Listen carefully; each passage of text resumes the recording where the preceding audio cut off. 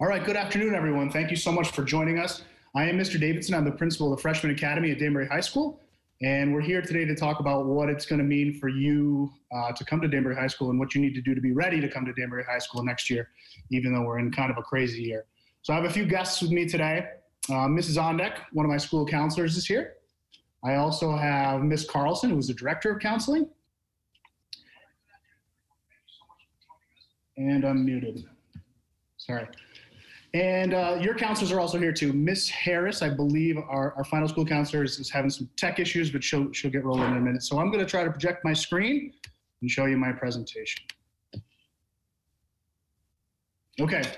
It's kind of weird that you guys are the class of 2025. Each year I say that, but it's it's it's true every single year. Um, you guys just just keep coming, and, and we I think we're we're ready, and we're going to have a really good time next year. Um, and I'm I'm really hopeful that things things get back to normal a little uh, bit. Mr. Derrick. All right, good afternoon, everyone. Thank you so much for joining us. I am Mr. Davidson. I'm the principal of the Freshman Academy at Danbury High School.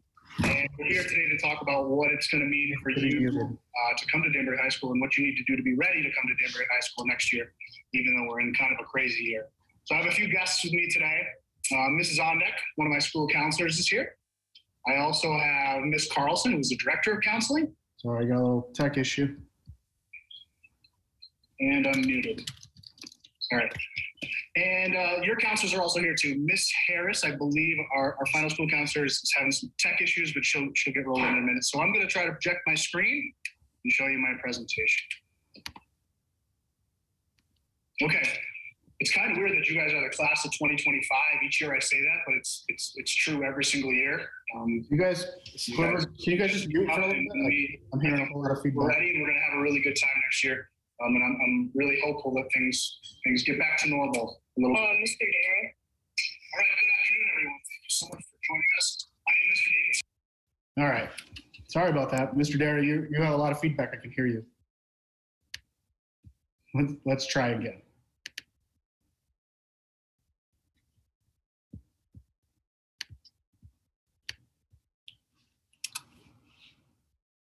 Okay.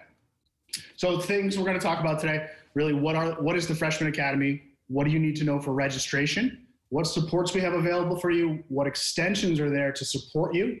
Dr. Roy is going to talk about the Danbury early college opportunity if she makes it, and then what's kind of next for, for you as incoming freshmen.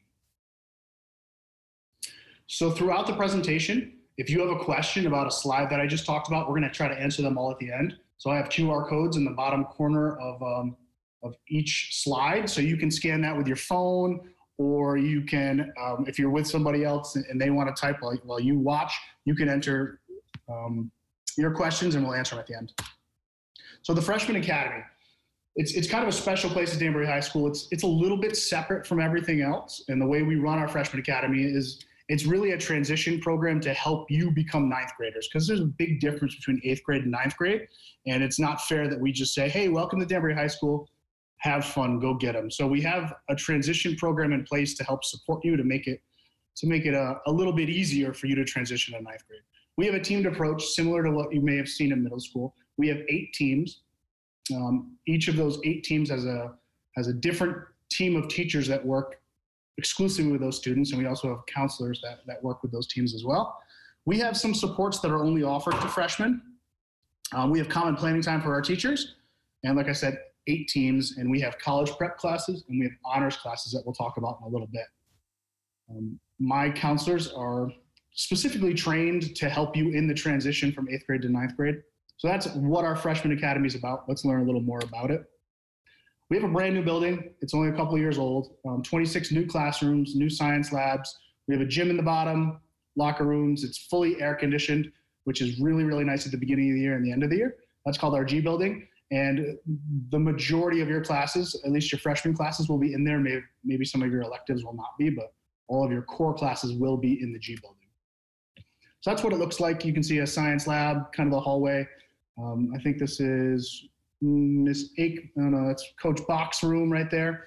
Um, just know that, that it looks a whole lot different now with social distancing and, and, the way we have to do business now. But I'm hopeful that next year we can get back to a little more traditional education.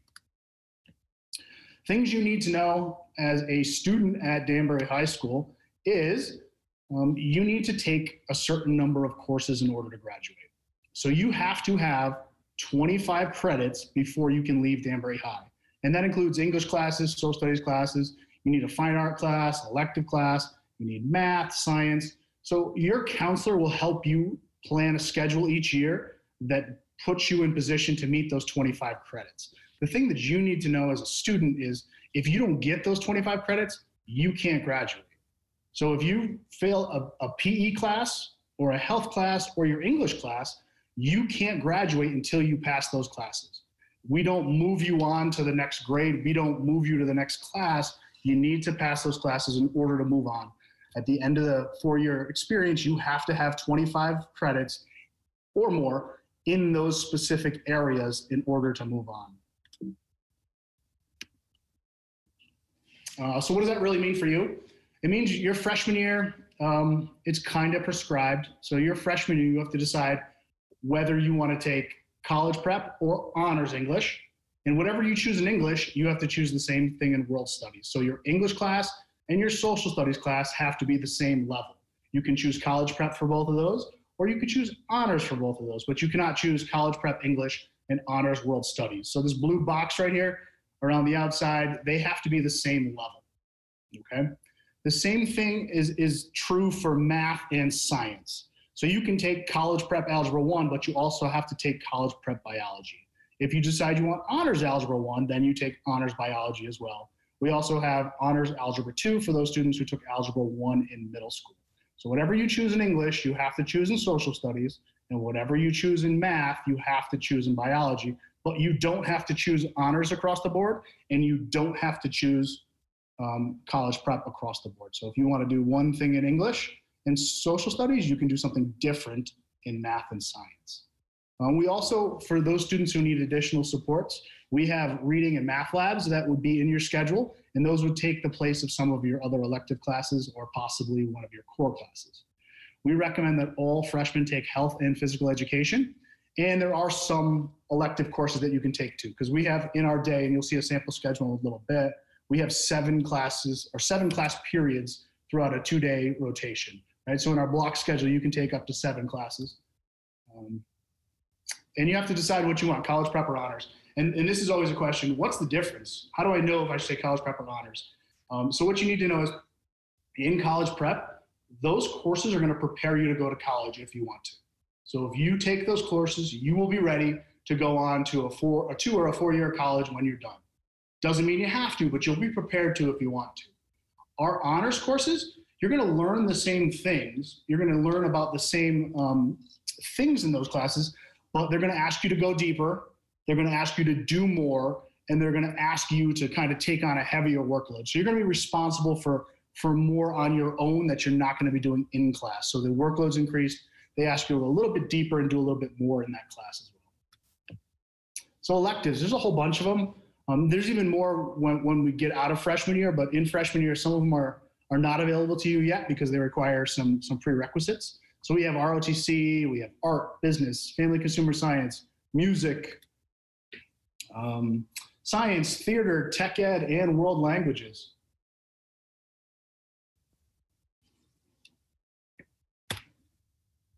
So a sample schedule for you as a as a ninth grader, similar to what you, what you probably see now, is we have an A day and a B day. So on an A day, you may have math, you may have health block two. Everybody has a flex period, and I'll talk about flex in a few minutes. Um, you may take English, and there'll be lunch embedded in that block, and personal finance may be in block four. So notice that these blocks change from block A, um, from A day to B day. So block one, block two, block three. I'll try to let Miss Harris in and Dr. Roy.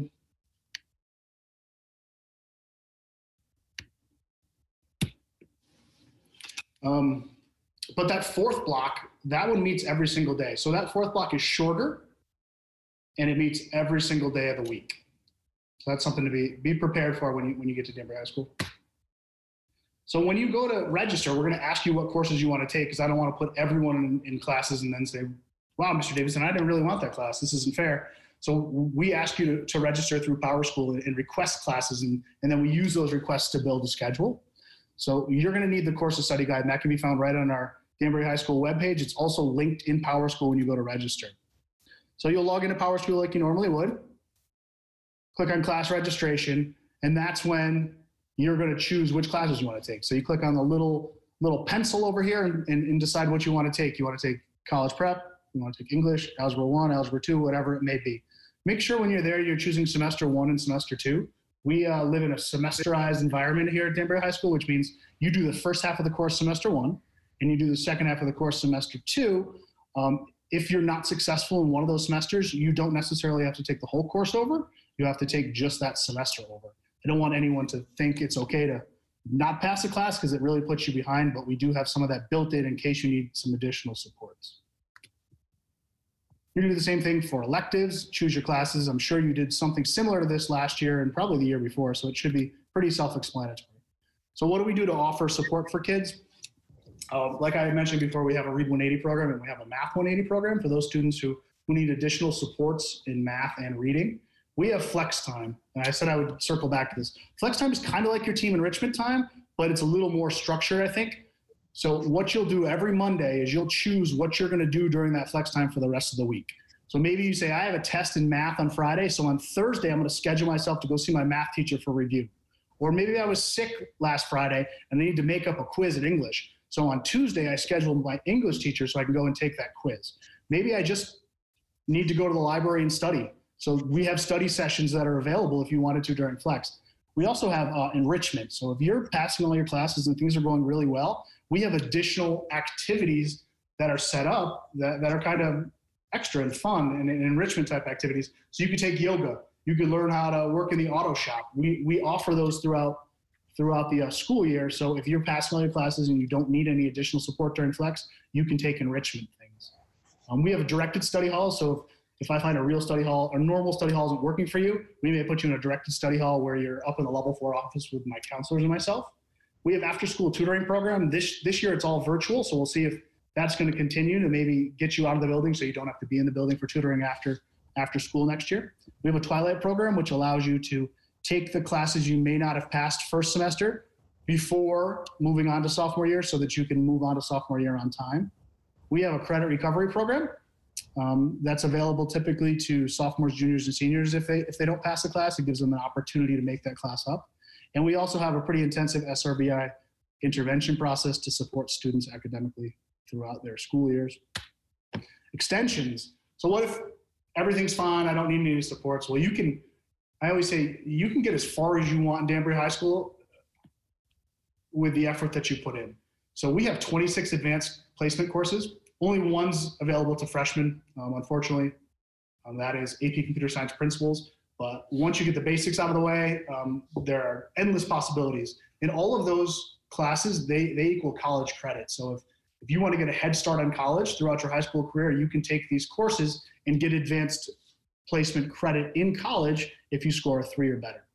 Currently, 21% of our kids take AP classes, and 53% of our minority students take it. So that's um, just shows that everyone's taking advantage of those AP courses. Um, Flex, like I said, those extensions are in there. Dr. Roy, uh, who joined us a little bit ago, is going to talk about the early college opportunity in a few minutes. We have honor societies to allow you to kind of expand yourself and, and push your limits a little bit. Accelerated summer courses, if you want to take geometry over the summer, you can certainly do that. So you can get a head start on the year following and possibly graduate early if you truly wanted to. ConnCAP Upward Bound program, we have tons of sports, clubs.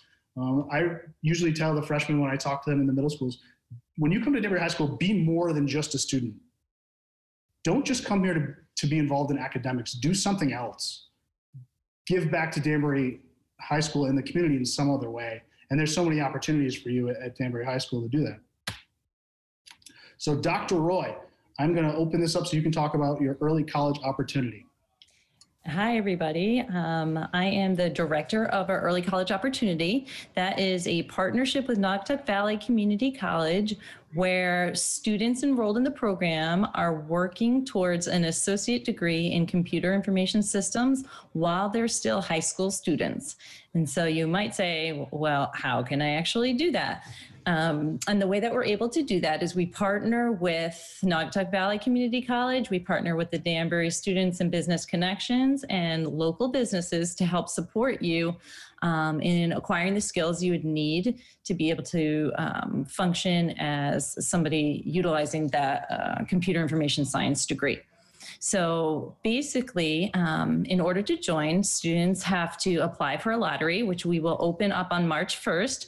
If you look on the Danbury High School website, um, getting closer towards March 1st, you'll see that that lottery actually opens up. And um, as long as you fill out the completed application, then you're put into the lottery and we're able to accept 60 students into the program. So, how that affects you as a freshman is one of those electives that Mr. Davidson was talking about would become a class that we take called workplace learning. Um, and so the workplace learning course teaches you all the soft skills of business. That, that's how to make presentations. It's how to write professional uh, emails, letters, do professional presentations, and working as team members and leaders. Um, we have experiences where you get to work with mentors from different industries and you get to um, get different work experiences. We do internships and field trips and those kinds of things to really kind of see what is it that local businesses in Danbury, in Danbury do and is it something that you might want to use in the future? Obviously, um, whatever pathway you choose, you're probably going to use a computer um, in, in your profession as you grow up. Um, the first experience that our students typically get to have um, is a summer experience. It's three days towards the end of August. Our students come into Danbury High School. We do some team building. We get to follow our schedule, check out the building, uh, check out the people that work there who are there. Um, Mr. Davidson, we usually try to find him and have him sign off on things and do scavenger hunts and stuff like that. He's particularly tricky to find, um, but but we do get to uh, get to know each other a little bit during the summer first. Um, and then as you go through your high school career, I work very closely with you to kind of tailor that pathway, um, tailor your course selections and stuff to really meet the goals that you want um, before you graduate. So if you have any questions, you can check out our website. It's been updated. Um, so if you just search Danbury Early College Opportunity, it might not show up. But if you go to the Danbury High School website and click on um, the button there that says DECO, then you'll be able to find it. And if you have any questions, certainly uh, either call and leave me a message or shoot me an email. Thank you, Dr. Roy. So what's next? You learned a little bit today. We're going to answer a couple questions. I see them, them, them coming in on the forum. Um, so what's next? So the first step is is seeing you all here today. Um, so today is is West Side. We have Rogers Park and Broadview over the next couple weeks. Uh, the next big thing for you guys is three one. We have our school fair. So what our school fair is all about is you can come in in normal years you can come to DHS and you can walk around. You can do a tour and you can find out about all the clubs, the uh, sports, the, the fun things like that. It's a little bit different this year, so we're going to be doing it virtually, which I still think is going to be pretty good. So I'll do a similar presentation like this to your parents that night so they can know what do I need to know as a parent of a student that's going to Danbury High School. You'll learn about the clubs, the organizations, the other fun things or um, interesting things that you can do to be involved in, in Danbury High School. Um, the registration opens later that night, so you can start choosing the classes that you want that we can use to, to build your schedule. We'll talk to the private and parochial schools um, at night on the 15th, and I think I think uh, the registration window closes the 24th, but we can keep it open if we have any issues. But you guys should be really good at that by now. So I'm going to leave this up while we start answering questions. Um, if you need to ask a specific one of us a question, you can either email us or call us and leave us a message and we'll get back to you because most of us are at home today, but we start up school again tomorrow. And so if you don't enter into the form question, feel free to reach out to us and, and we'll do our best to answer it. So Mrs. Ondek, I believe, is taking a look at the, the questions. If anybody has any other questions, add them in now and we will do our best to answer them. Um, Mr. Davidson, can I just like pop in really quick? Sure can. Hi, Westside. So nice to see you, my STEM kids, um, and Mrs. Riefberg's Global Studies kids. So I know Mr. Davidson touched base on the registration for your freshman classes. We, uh, Ms. Riefberg and I, will also be open for for those questions too. Um, for the, like you know choosing like you know your different types of math classes, honors classes, and your elective. So stay tuned from an from an updated email from us, and we can definitely uh, touch base with you. So we will be talking to all of our parents and students when that becomes available on PowerSchool. Awesome. Thank you. Mrs. Ondek, I have the questions here. I can just run through them on oh, okay. multi-screens. So the first question we got was, are there uniforms for gym? No, we don't have any specific uniforms. I know in middle school you may have gotten uniforms. We do require that you change. We don't want you in jeans and a hoodie sweating all over the place in PE class. So we do ask that our students change for PE so they need sneakers that don't mark up the floors, and they need, you know, at least somewhat comfortable clothing to, to complete the activities in. That's a good question. Um, Mr. Miller asked where the best classes are, and he put a plug in for himself, A208. Um, he teaches, Mr. Miller's the, the one who, who's in charge of, of uh, our YouTube channel. So he's live streaming this for you guys, and then he's recording. He does so much for us. So I will give him a plug. He does does an awesome job. So if you're interested in in um, engineering or you're interested in, in, in, the CTE classes that he teaches, uh, graphic design, things like that, um, he, he's a really good teacher. So that's his, that's his one, one plug he gets. Uh, during flex, if a lot of people choose one thing, does it close up? Yeah, it actually does. That's a really, really good question. So teachers set up these courses that, that students can join into during flex, and they typically set their cap at like 17 for academic things. Um, so, um, so they can make them larger, obviously. So if, if, if we have like a tire change Tuesday, they make it a little bit larger so kids can go in and see how to do that sort of thing. But um, the most of them are capped at 17. That's a really good question. Um, are there any programs or classes that uh, we can take in order to get a free scholarship? Now, Danbury High School is free, luckily, so so you can come here. You don't have to pay anything. Um, but what I recommend to you if you want to get scholarships for college is you work as hard as you can and you be as involved as you can in, in your school. And, and colleges will notice that and they'll understand that you know you're worth investing in and they'll they'll give you um, any assistance that you may need to go there. Next question is, uh, how do you apply for the honors program? You really don't have to apply for it. What you have to do is um, register for honors classes. So when you go to choose your schedule, choose the college prep or the honors classes you want, and that kind of puts you in what I guess you, you think is the honors program. But those honors classes allow you to kind of extend yourself and, and, and challenge yourself throughout your, your career. Uh, we also have AP classes, and, and the way you do that is the same way you, you register through the, uh, the PowerSchool portal. Um, next question, if we don't dress appropriately for gym, like worn jeans, um, will it impact our grade?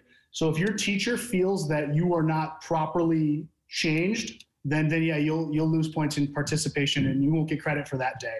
So you need to wear something that is conducive to to, to PE class. Um, next we have how do I register for my classes?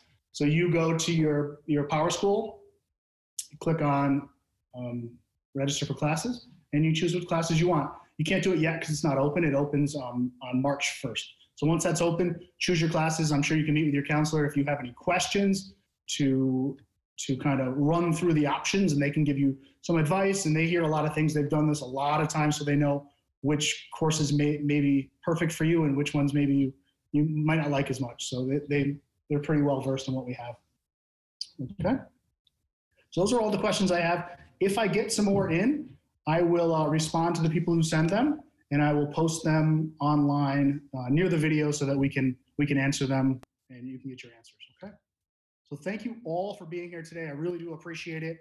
Um, remember, 3-1 is our, our school fair. So look out for information on that. We'll send it to your schools and, and be there so that you can learn as much as you can about Danbury High and, and you can be ready for that smooth transition to ninth grade.